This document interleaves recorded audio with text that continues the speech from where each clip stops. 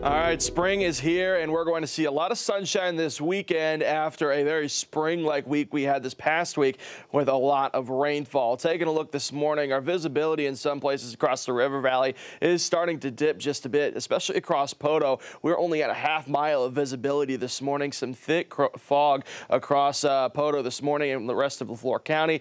Most of northwest Arkansas and the river valley, though, is pretty good with that visibility. Just in eastern Oklahoma, we're starting to see some of those those issues. Cooler temperatures this morning because all that rainfall that we saw from the past couple of days. We're going to see temperatures topping out in uh, the mid 40s for this morning. Across the River Valley, temperature is going to be trying to reach up into the 50s. We're going to see that northwest wind throughout most of the day today. We had a cold front move through yesterday evening. That's what produced those thunderstorms across Logan County. That's why temperatures are much cooler heading into this morning. All right, taking a look at our rainfall update. Again, we are well above where we're supposed to be for this time of year. Almost 14 inches of rainfall since the beginning of the year. We're about five inches more than where we're supposed to be for the start of spring. Across Fort Smith, we're seeing about four and a half inches above where we're supposed to be this time of year. Daytime highs for today, temperatures going to be in the high 60s across the River Valley. We're going to see temperatures in the mid to high 50s, mainly across northwest Arkansas. Maybe just starting to see some of those 60s. Tonight's overnight low is going to be in the low to mid 40s across northwest Arkansas and the River Valley. Again, this weekend, plenty of sunshine. Good to see some cloud coverage during the day. Temperature is going to be topping out close to 60 degrees today, closing in on 70 degrees heading into Sunday. Overall, this upcoming week, pretty normal for northwest Arkansas and the River Valley. Above average temperatures further down towards the south, cooler temperatures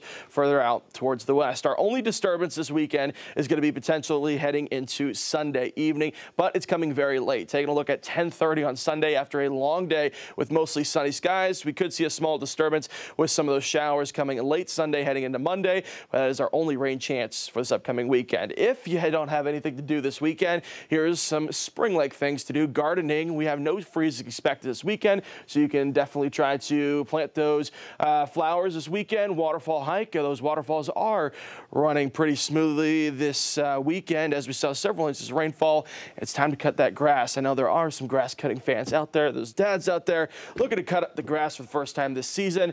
You got plenty of sunshine this weekend, and I imagine after all that rainfall, it's probably pretty tall this weekend. Northwest Arkansas this week, we're going to see plenty of sunshine again this weekend. Temperature is going to be in the low 60s to mid 60s. Our only disturbance is coming Sunday night, and then Monday through Wednesday, we have a really nice stretch of weather where we're going to see sunshine every day, and temperatures are going to be in the 60s and 50s.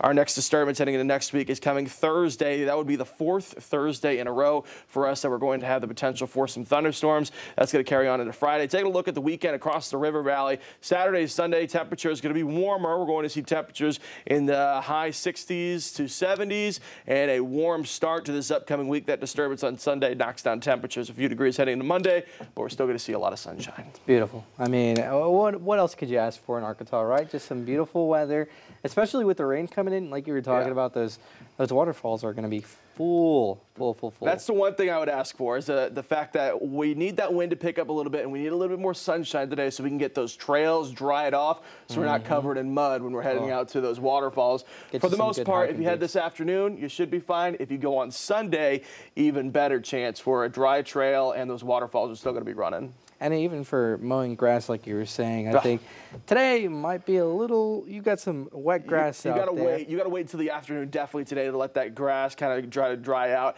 And I know some people may think we're crazy about talking about this, but this is this is a real thing. There are grass fans out there, my father-in-law being one oh of them. goodness, I've seen those posts. Today would be the day that he would be putting on the white New Balances oh, and going goodness. out there and cutting grass throughout half of the day today. and I guarantee shoes. you, there's someone out there watching right now saying, you know what? I'm going to gas up the lawnmower today, fire it up, and get that lawn looking nice. It is spring, and it is time to get the front yard looking nice so that the rest of the neighbors don't judge you. I'm a dad. I'm not quite there yet. Yeah, yeah I'm still in an apartment. They cut my grass for me, so I don't have to worry about that until we come to a, uh, come to a big homeowner. All right.